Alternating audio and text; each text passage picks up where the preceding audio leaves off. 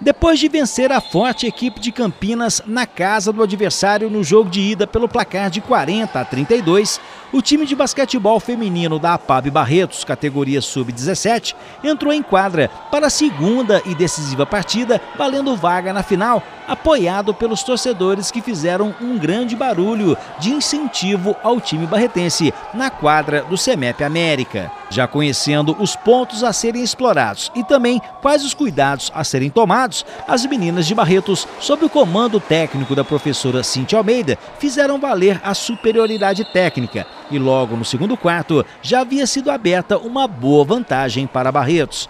A partir do terceiro quarto, com uma considerável vantagem no marcador, a PAB Barretos apenas administrou o jogo, evitando choques mais fortes e sem perder o foco. Finalizou o último quarto com quase 30 pontos de diferença, vencendo o jogo por 65 a 36. Classificado para a grande final, Barretos enfrenta agora a fortíssima equipe de Osasco, que conta com a maior estrutura entre as equipes participantes, sendo a trajetória da equipe barretense e a expectativa para a final, além da diferença estrutural entre as duas agremiações, comentadas pela professora Cintia Almeida. Nós deixamos para trás equipes fortes como São Bernardo, São José dos Campos, Santo André, equipes de estruturas muito melhor, muito melhor do que a gente. Então poder deixar essas equipes para trás, estar disputando uma semifinal contra Osasco, mostra a força do nosso trabalho e que o nosso trabalho é desenvolvido ali dia a dia, dentro de quadra, com o esforço de todo mundo, da comissão, de atletas, das pessoas envolvidas.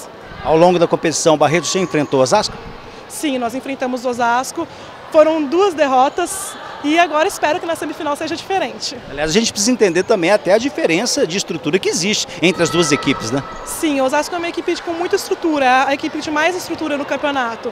É, fizemos dois jogos bons contra o Osasco e nós crescemos durante a competição. Como eu falei, eu perdi, eu perdi uma atleta muito importante durante todo o campeonato, então a gente teve que renovar, fazer todo o trabalho novamente para poder estar chegando hoje à semifinal. Entre as atletas, um dos destaques da partida contra Campinas foi a ala pivô Melissa que sonha em jogar basquetebol profissional, mas também sonha em ser jornalista. E se um dia tiver que escolher entre as duas opções, ela já se decidiu.